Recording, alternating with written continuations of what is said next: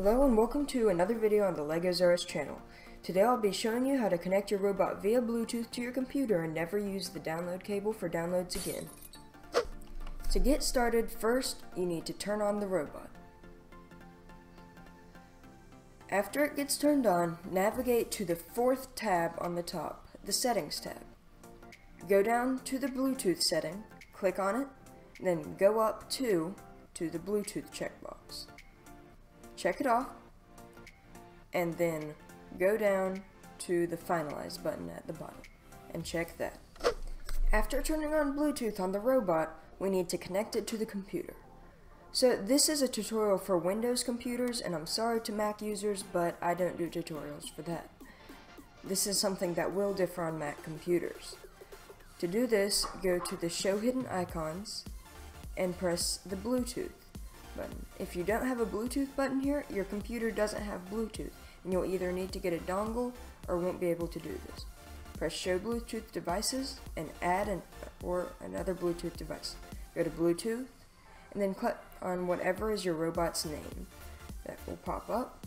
After you press the connect button on the computer, this screen will pop up on the EV3 robot. Press the check button, then the check button again. The second check button is for setting the passkey. If you're by yourself, the 1234 auto passkey is just fine, but if you're in a crowded area with lots of other EV3 robots, you want to do something more specific, so you won't be interfering with other robots. After you check off the password on the robot, this will pop up on your computer. Type in the passcode that you set. In most cases, this will be 1234 unless you changed it. Then press connect, and now your EV3 is connected. There's only one more step to get it to sync with the program. The last thing you'll need to do is plug in the download cable connected to your computer to the robot. This makes the EV3 software recognize your robot and then you can unplug it. Now, if you look down at your connection type, it should have the Bluetooth symbol instead of saying USB.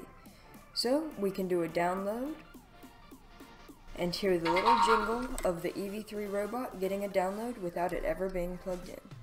The only thing you have to remember is every time you turn the robot off or reopen the EV3 programming software, you just need to replug in the robot with the normal download cable and unplug it to sync the robot to the EV3 software. Thanks for watching. Please like, comment, and subscribe.